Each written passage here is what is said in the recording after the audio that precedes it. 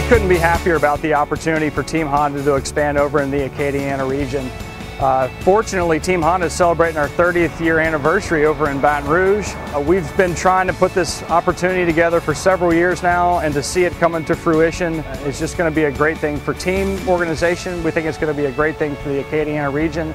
We think it's going to be a great thing for all the Honda owners that are in the greater Acadiana region. We look forward to providing you great service, uh, great prices, and great products for another 30 years.